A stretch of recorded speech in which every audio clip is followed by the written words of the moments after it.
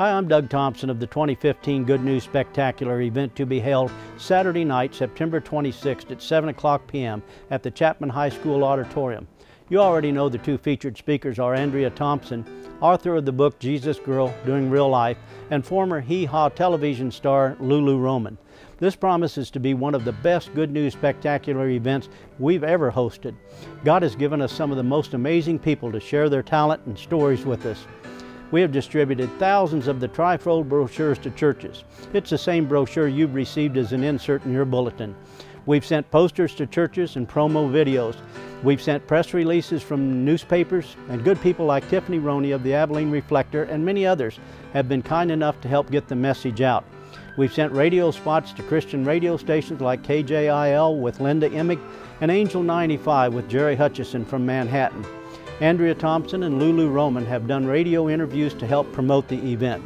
We're on every social media we can think of, and Dennis Weiss and Eagle Television have given us tremendous exposure across the Eagle TV network. Just like our daughter said a few weeks ago when she came back from her missions work in Alabama, God calls you to be a goer and a sender. You can be proud of your church for its efforts to fulfill the great commission Jesus gave to all of us. The fields are full, but the workers are few you have the opportunity to be a sender and a goer. There's one area we need help with, that's prayer. As we get closer to the event, spiritual warfare keeps getting stronger against us and our efforts to share the good news. Won't you take time to pray for the Good News Spectacular and those folks involved? Pray for Andrea and Lulu. They're so excited for the opportunity to come and share their stories with you. Please help surround the event with prayer. I feel the evil one throwing a lot of things at us, which means the event will be special. As always, thank you so much for all your help. You've always stood shoulder to shoulder with us to make a difference. God bless you and hope to see all of you on September 26th at 7 o'clock p.m. at the Chapman High School Auditorium. Till then, please pray that you will be a goer and a sender, for the fields are full.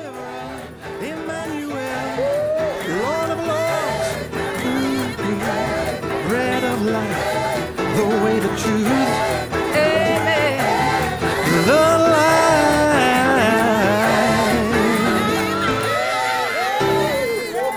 And I will, I will lift my voice. Give him praise.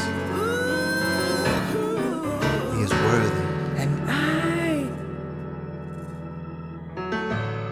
I worship you.